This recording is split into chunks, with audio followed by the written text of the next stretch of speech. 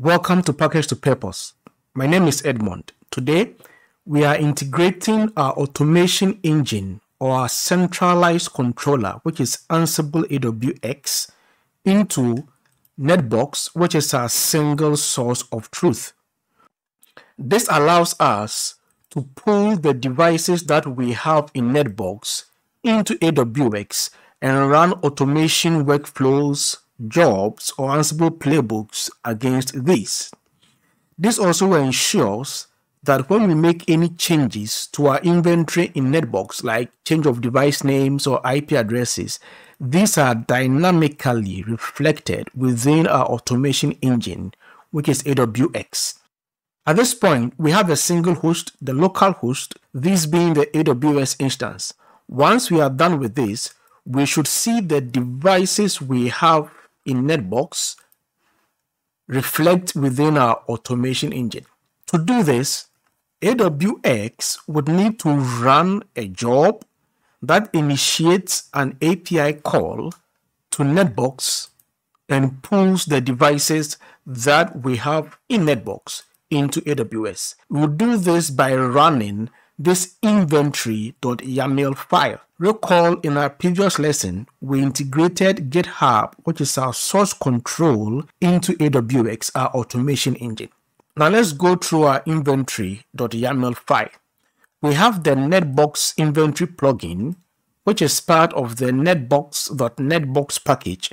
This is the official Ansible collection for interacting with Netbox. Then we need to provide an API endpoint which is the URL on which we reach Netbox, this URL. Then we need to provide a token that we would use to authenticate to Netbox. And there are other parameters that we are setting here. They are not validating any set.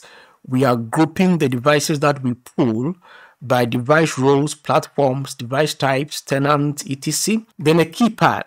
We are only pulling devices in Netbox that have a primary IP address set. Now, we need this because it's possible we have different kinds of devices or artifacts in Netbox. Not all of these might be relevant to us from an automation point of view. So we want to ensure that we are only pulling what is relevant to us into our automation engine and not just dumping everything from Netbox into our automation engine. Then we have flattened custom fields set to true, which ensures that if we have any custom fields in Netbox, these are treated as regular parameters. So next, we'll update our inventory.yaml file with our API endpoint. We'll generate a token in Netbox and we'll use this to authenticate. So let's take note of our API endpoint, which is this.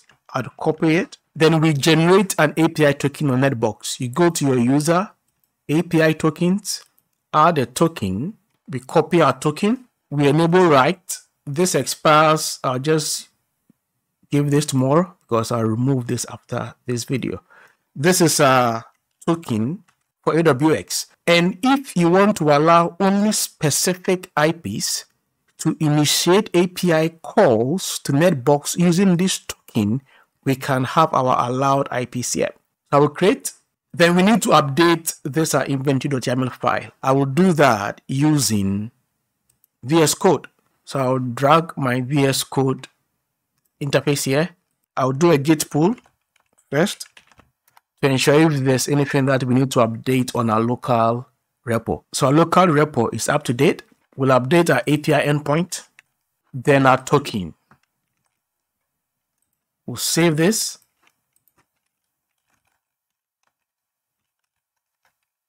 So we have modified this file.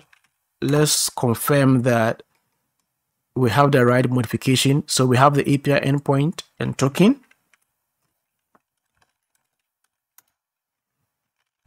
We stage this for commit. We commit it. Then we push to our repository. Good. So if we check our repository now, we refresh it, we have our API endpoint, which is our netbox URL, and our token.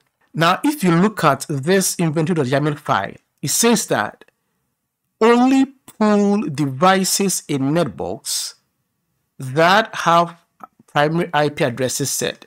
Currently, if you look at our devices in netbox, they don't have any IP addresses. So let's add IP addresses to this. We go to IPAM, IP addresses, we add, and it's okay 10.1.1.1 slash 32. This is in our Velox group, tenant group, Velox Bank, and we assign this to our VPN gateway, which is our SRX. We make this the primary IP address.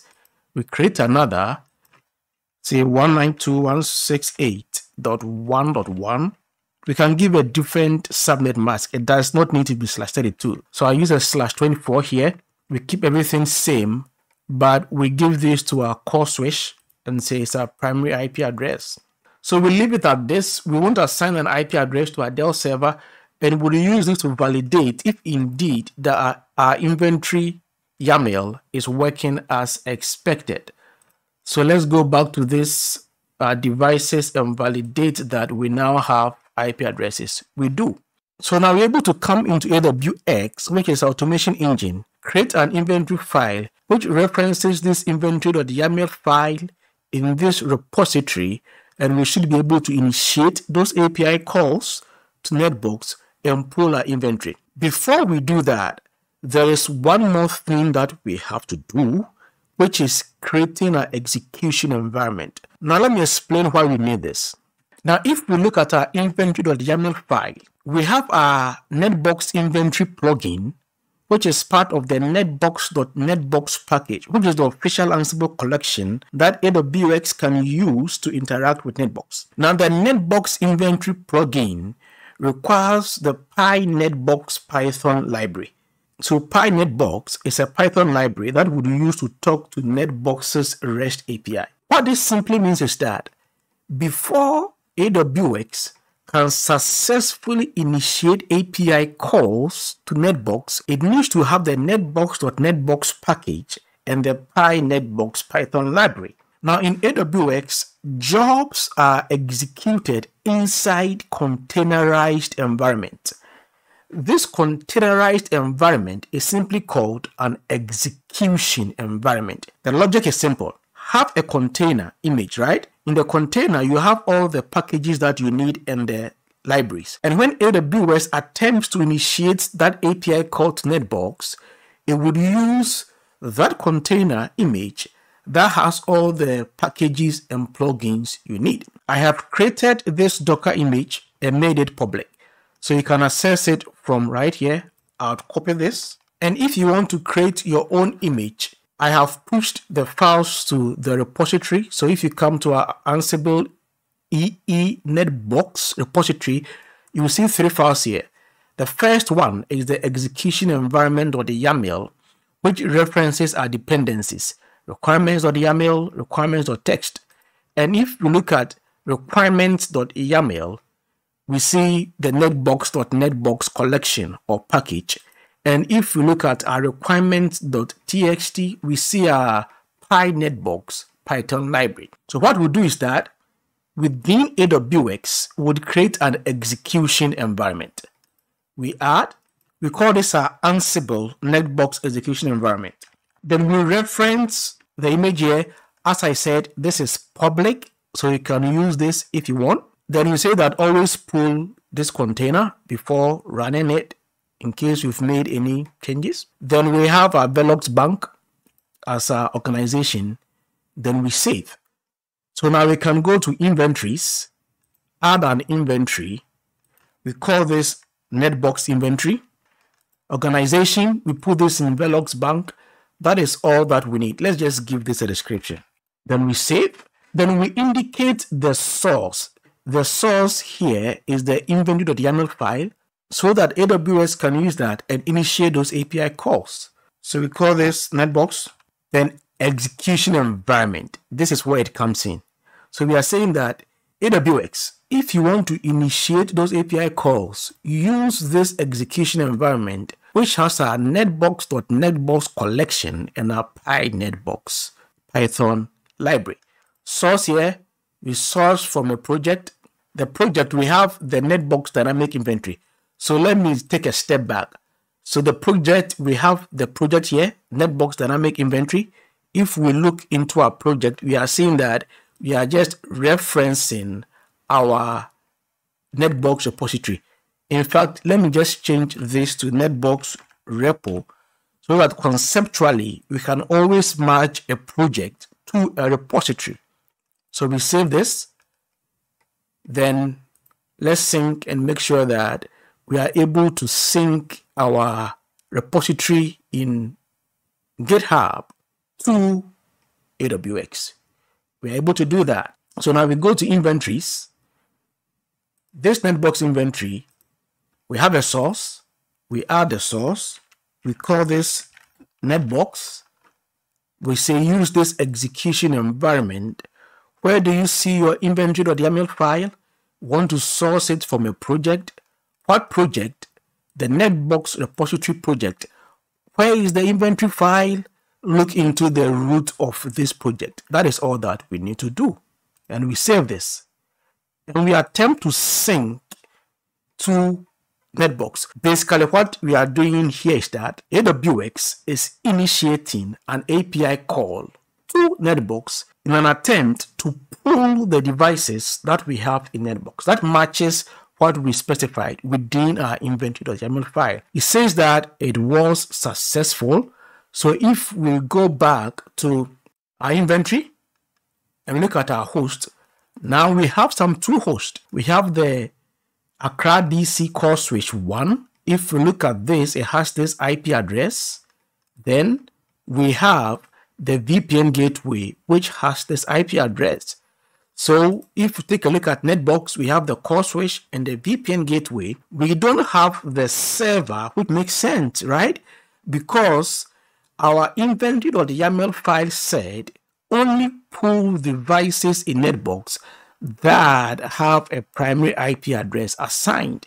The Dell server does not have one assigned. So we check our host, and aside our local host, we see these two other devices, and we can see the groups that this device is part of. To validate that our inventory.yaml file is working as expected, let's go back to Netbox. Then create an IP address and assign to our, to our server. So IPAM, where are you? IPAM, IP addresses. We add an IP address, say 192 168 20.10. Just an IP address. Then tenant group, Velox group, tenant Velox bank. We are saying let's use this this goes to our iDRAC on our server and it's our primary IP address.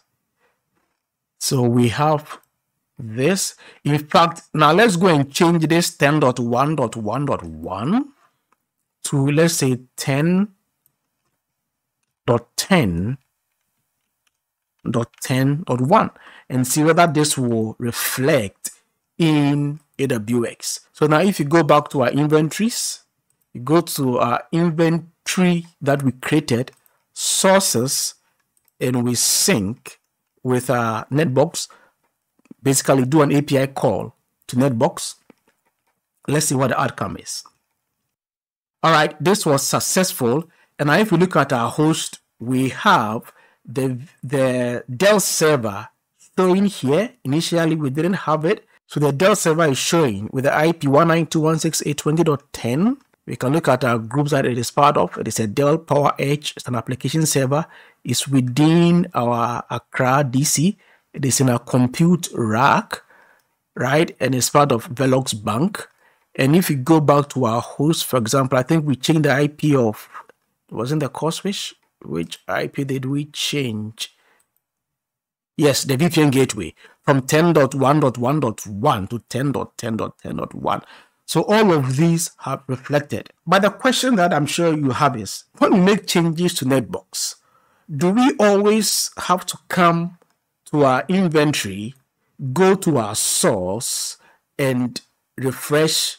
No. you don't have to do that. We can create a schedule that says that, look, AWX at specific intervals, go to Netbox, issue API calls, and update your host with any changes. You might also want to get notified, right? If you issue these scheduled jobs and whether they succeed or not. In our next episode, we'll integrate AWX, which is our controller, and Slack notifications. Slack as in S L A C K. Once we do that, we would come back and create a schedule so that AWX can go to Netbox and pull inventory and we get notified via Slack when this job starts and whether the job succeeds or I hope you find this episode or this series interesting. If you do, kindly hit like and subscribe to this channel. Thank you.